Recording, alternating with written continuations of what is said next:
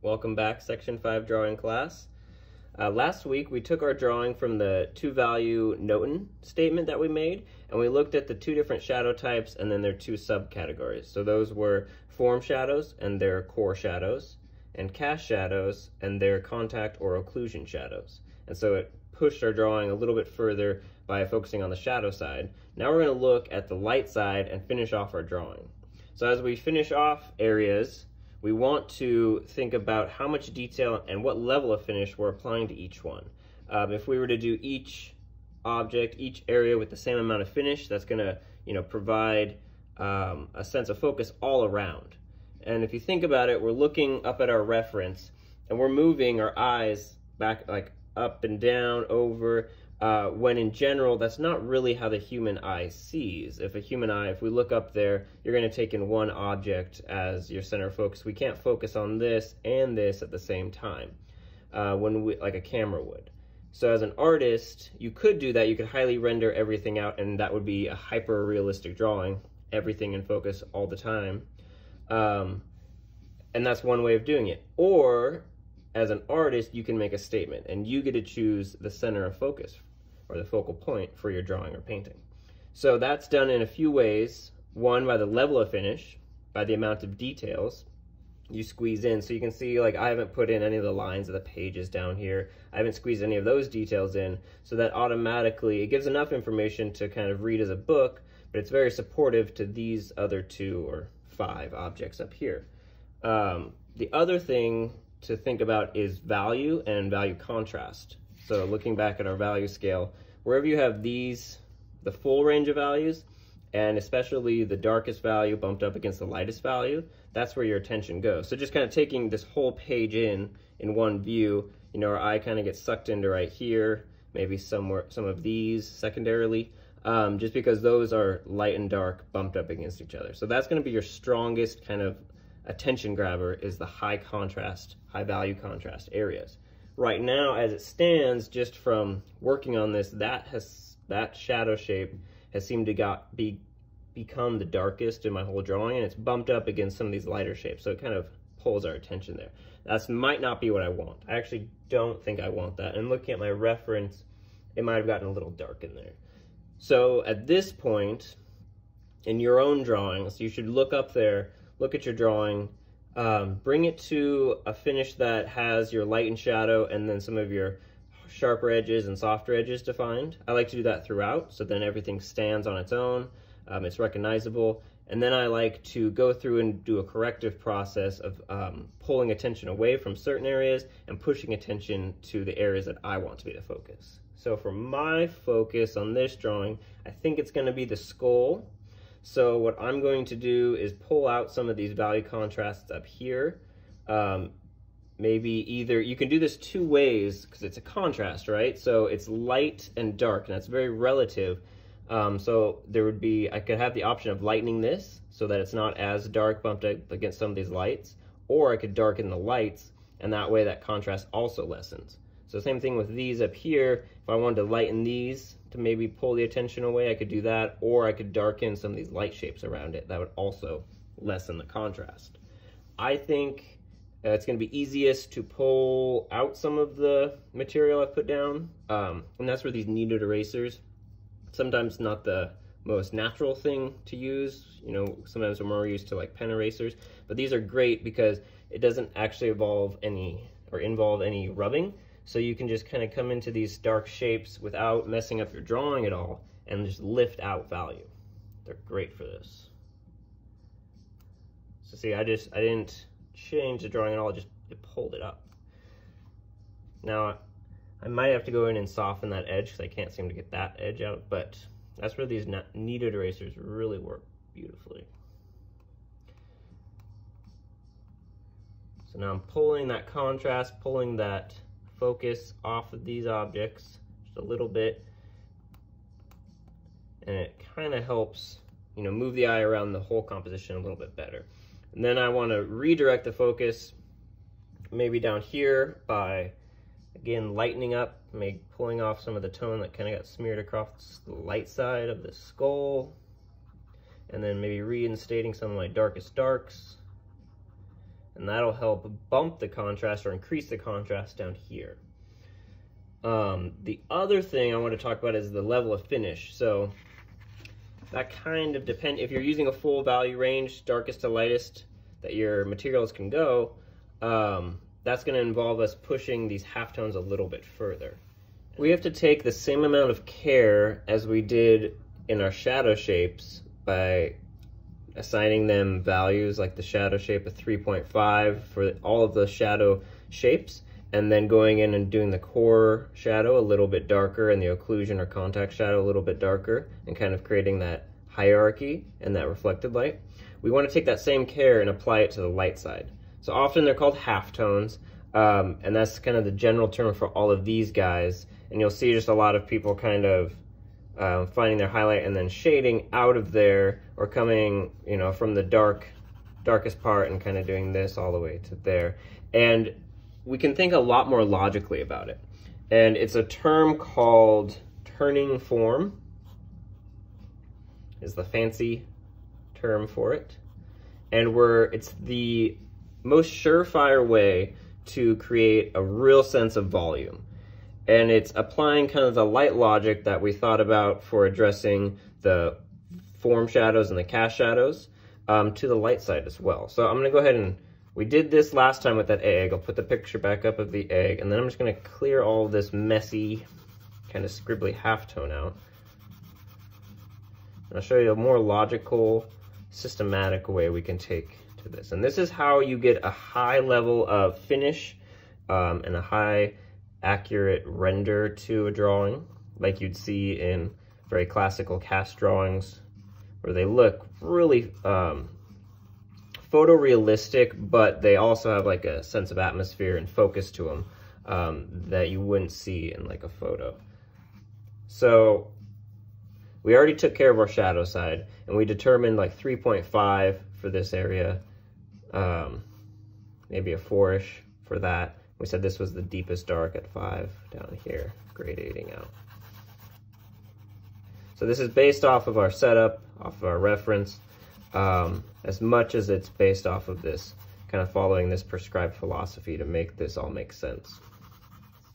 So we want to identify our light source, just like we did define the shadow shapes and how th this is created. Um, on the egg reference, we have the light coming from the front left. So we have the highlight. Now I'm marking this for your guys' benefit. You don't have to do this on your page because we don't want it to be circled like this, especially on very light objects like white objects. Um, you don't want this. We might be able to get away with that tone just because the egg is off white.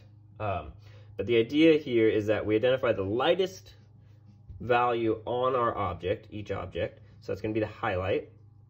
And side note, the highlight does move. Um, it might not be always like, you can see like we get this kind of glow up here. That's probably going to be more indicative of where the light source is coming from. And then this is just depending on the light source, but then also our relation to it. So as we move maybe around this way, that angle, kind of like a pool table, like is going to bounce and travel around this form following our eyes a little bit. So the highlights can move a little bit where like the most brightest spot aside from the highlight will stay, remain the same. So indicate where we're going. We're kind of, the highlight's gonna be here. The Aside from the highlight, the brightest spot's gonna be here. I'm gonna pull it out now that we've identified that. And then start where you're confident. Looking at this, we squint, remember, squint down, we said this is the shadow shape. pull this up a little bit. And we emphasize the core shadow, so I'm just gonna go back in there and re-emphasize that. A little bit more accurately. I kind of rushed it last time just to give you guys the theory of it. So darken that core shadow. And then you want to think um, in bands of form. So it's, well, it's bands and it's also tiles. So we're going to band across towards our lightest spot um, using tiles of value. Okay, so it's like these little value squares. So we're going from what we have assigned as the shadow all the way to here. So you can imagine it's going to be this gradation like this, but we want to bracket it just like a value scale and think about each value we put down, creating a band across this whole form. And you really want to do this, especially when you, we do it on an egg and we, we oversimplify it or a sphere. Um, and then when we apply it to more complex things like faces um, or skulls, we have, it's kind of like a lot of eggs, right? All multiple volumes and forms kind of crammed together. And then you kind of have to th really think about this tiling and seeing how the tiles merge one into another. But let's start on our simplest form. So I'd suggest before diving into your still life setup for this week, go back to your egg form, clean up your lights like I did, identify, um, and it doesn't have to be an egg, just whatever simple geometric form, paper towel roll you might have at home, you can practice with. Light objects are better because it shows the form. Not that dark objects don't have it, it's just a lot more subtle because you're working within a compressed value range. So we identify light and shadow, it's helpful, I think, to start kind of towards the core shadow because we've already identified that as being a value 4. And then we're going to start making this band and roll out of our core shadow towards that lightest spot. So having a nice hard pencil is really helpful for this.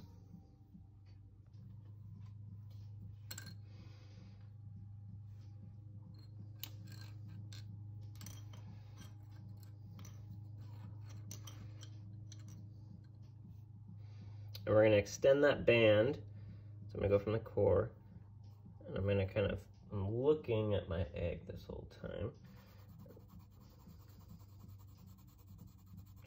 I just create this tile of value. You know, it's probably somewhere in the three and a half, three range. And now as I get up here, trying to get a little bit lighter. So applying less pressure. Maybe correct that a little bit. There we go. As I come here, even less pressure.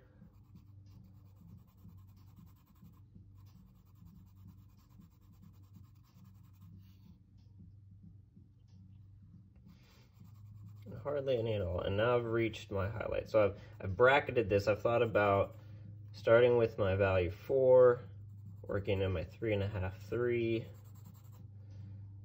two and a half, two, one and a half, one, all the way to zero. And then remember we have, even though this is um, still like one of the lightest parts of the egg, it's gonna have a little value as it turns away from that highlight and that kind of center light bright spot. You'll really, like, even though this is the brightest spot, you'll notice that half tone bumped up right here on this edge. And that's really important too, and that's kind of one of the benefits of lighting um, our objects or volumes from this three quarter 45 degree angle kind of light direction. If you were to light it straight on from the side and we were standing here, it would cut your volume, the egg in half, and you'd have this shadow shape right here, a little bit of half tone right here, and then all of this would be blown out, probably against the dark backdrop of the table. Um, and it just cuts it and it flattens our object. So by pulling the light source around 45 degrees, centering it here instead of here, we get this nice little half tone that helps roll the volume back away from us. It softens and it rolls away, kind of mimicking how we see uh, with our two eyes, our biocular vision, uh, the softened value edge right here. Okay, so that would be a band of form, and I kind of tiled it out. I, I got these little in-between tones too. Remember, this is a simplified version. We can see like around 30 different variations or tiles of value. So there's a lot to be said and a lot we're missing in this simplified form. Um, and we want to do the same thing now moving around. So I felt confident about that. Let's move up here. Look, again, coming out of that core value. So again, aiming for a value four. Always looking here and then looking back at my reference. I notice this extends a little bit further, maybe further than I did this time. So now what I'm doing is I'm looking at this, comparing it to what I'm putting down here, knowing that I'm aiming for this light spot, but I also have this to compare it to. And value and color is such a relative game that always comparing is the key to success. So getting a little bit more accurate, the more I can fill this in.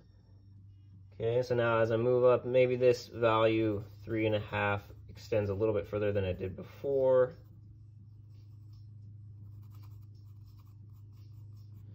Before it gets into a three. We can continue that all the way until it turns into a two. And being surrounded by all this white is gonna make this a little bit hard to judge at first. And the more bands of value we get in, the more easy it is to recognize where we need to go in and kind of do some touch-ups and corrections. Okay, so I'm gonna continue to add bands so we can you can watch this fill up.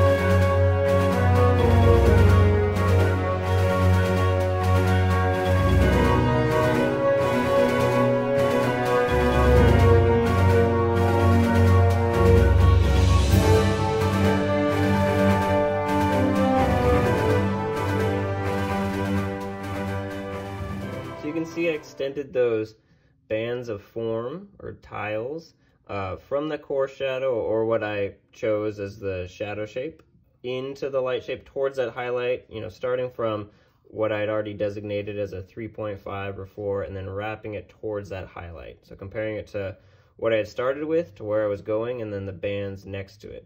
And then I kind of jumped around as this starts to fill up, everything becomes a little bit more accurate and more relative so you can make some better decisions uh, based on what you had. And I was noticing that in general, once this got filled with halftone, I could push my shadow shapes a little bit darker. I was kind of losing that contrast or that notan quality we had established before that gave it the strong uh, value, pop, and dimension. So I went back and I darkened this, trying to hold on to the deepest darks of the occlusion and the core as I went. Okay, so a little bit tedious, but the theory is very sound, knowing that where light hits and then starts spilling around the form, it can't be as strong. It falls away. So it become it diminishes in its power, uh, letting some of the shadow take back over and darkening in value as it reaches towards there. So we want to apply that now to a more complex objects. You might not have to take that exact same tile by tile, band by band approach, but the theory that you kind of ingrain by doing this exercise will follow with you every time you see a form. It kind of trains you to see value on form rather than just shading, right? Um, kind of arbitrarily. So I would really highly recommend setting up something super simple, either um, spherical in nature or even like a tube like this. You can see the gradation on here from, you know, your brightest bright. So you could establish the proportions of this, create a shadow shape, tone this uh, 3.5, um, and then go for like your deepest dark core shadow here, and then turn towards that highlight, right? So as you turn out your shadow shape back here, that three value uh, three extending to a value two is going to be a lot longer. You know, your value three might go from here to here, versus up here where it might go from there to there, okay? So it's, it's gaining that knowledge to create these bands. So try, try, this on something really simple and geometric. We have our, like our little casts in the classroom, but at home you can use a ping pong ball, a paper towel roll, an egg, um, and then practice this turning form so you ingrain it, and then you can apply that knowledge of light falling and spilling uh, very systematically to your more complex objects. So I'm gonna go ahead now and I'm gonna go to the shadow edge of each of my objects. So right in here for my skull. And I'm gonna start turning form to its brightest spot. You have to take into account that these local tones on here, the brush holder and the skull aren't pure white like the paper towel roll is or the very close to white egg. So the lightest spot of the object I'm aiming for is not going to be the white of the paper. There might be a highlight on there that's the white of the paper, but it might not be the area I'm aiming for or the center light. Okay, so keep that in mind. It's good to identify your lightest spot and then go from here and aim towards that. So I'm gonna go ahead and do that now on my skull and my brush holder. Uh, the same idea can be applied to backgrounds. So just looking at my background here, we can see the brightest spot is arguably somewhere up here. It might be hitting back here, but then as it gets closer to this deep dark, that contrast might make this appear relatively lighter. Somewhere up in here, but it's definitely not that light down here, right? So that same idea of, you know, where am I, what value am I starting at? What am I aiming for? And then we can apply it. Um, it'd be a lot more arbitrary to just start here and go and then like soften it out with a thing, which I kind of did through here. It's a little bit less important because it's a background tone. So I'm not gonna, and it's not where I want the attention to be focused. I definitely want it to be there to support the setup and not have some a viewer look at this and say, oh, that's, oh, that's unfinished. So I'm gonna kind of keep that logic in mind, but I'm just gonna do it very quickly. And then I'll really slow down and start to do more of that turning forward down, turning form down here and also on here. Um, and then as I do that, making sure to keep in mind, what do I want my focal point to be? Do I want it to be the skull, where I might really push that full value range to get that value contrast, value 5 through 1 and 0? And then in here, where I maybe don't want this to be quite the same center or the same amount of focus, reducing that. So this might be, according to my reference, um, a value 5, but if I don't want it to compete with what's down here, maybe I'll bump this to an, a 4.5. So I have that kind of creative license to mute this down a little bit, make it a value 4.5.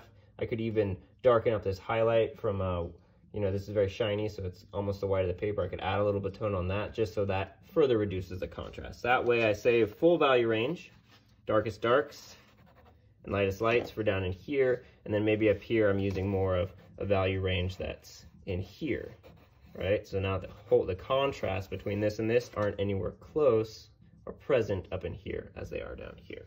Okay, so I'm gonna do that next.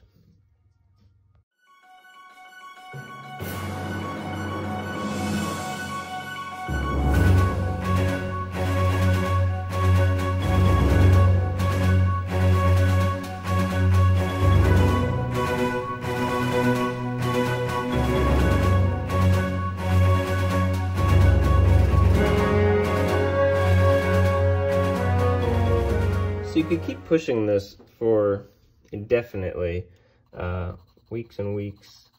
But I hope this showed the main points I was trying to get across.